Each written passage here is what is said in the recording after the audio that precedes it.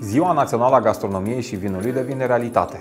Proiectul inițiat de șef Nicol Ontras, Cezar Ioan și Cosmin Dragomir a fost adoptat de Camera Deputaților, forul decizional în acest caz și se va institui în ultima duminică a lunii octombrie. Ziua Națională a Gastronomiei și a Vinului Românesc va putea fi organizată de către autoritățile publice, centrale și locale, precum și de persoanele fizice sau juridice, cu scopul de a aprecia și promova obiceiurile și produsele culinare tradiționale.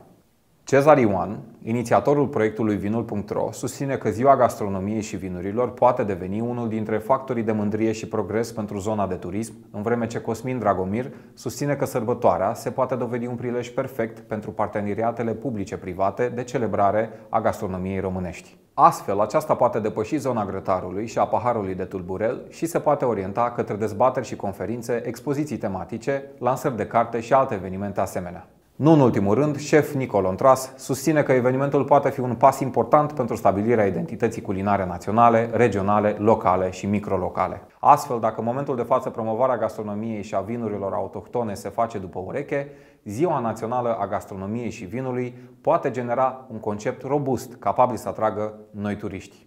Vă mulțumim pentru vizionare și nu uitați! Dacă ați aflat ceva nou și util, dați un share și abonați-vă la pagină pentru a nu rata următoarele clipuri. Numai de bine!